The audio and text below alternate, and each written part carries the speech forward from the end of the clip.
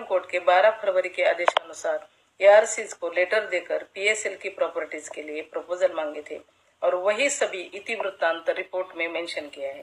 सभी एआरसीज ने अपने प्रपोजल्स में time period terms and conditions fees और प्रॉपर्टीज़ के एरियाज़ मेंशन किए हैं।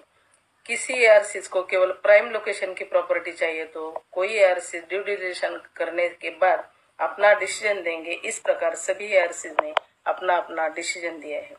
पिछले ईओआई प्रोसेस को ध्यान में रखते हुए कमिटी के अनुसार उनके पास सुमोटो प्रपोजल्स आए हैं। Indo UK institute institute of health का प्रपोजल भी आया है। इस प्रपोजल को लोढ़ा कमेटी आगे लेकर जाना चाहती है और सुप्रीम कोर्ट न, कोर्ट ने उन्हें पूरी जानकारी लेने का आदेश दिया है तथा टाइम टू टाइम कमेटी को इस विषय पर सुप्रीम कोर्ट को अपडेट्स देने पड़ेंगे। कई स्टेट गवर्नमेंट्स की लैंड पोलिंग पॉलिसीज़ है। स्टेट गवर्नमेंट अथॉरिटीज को साथ लेकर उनकी भी जानकारी लेने के लिए कोर्ट ने लोढ़ा कमेटी को कहा है।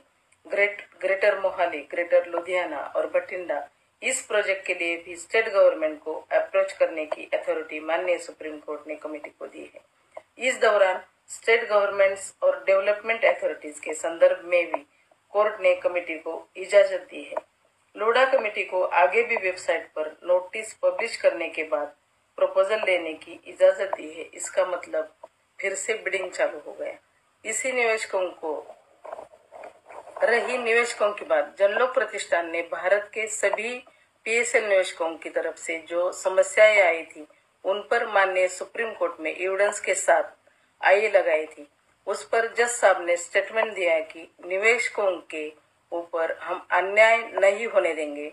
आपके सभी प्रकार के प्रॉब्लम हम सॉल्व करेंगे।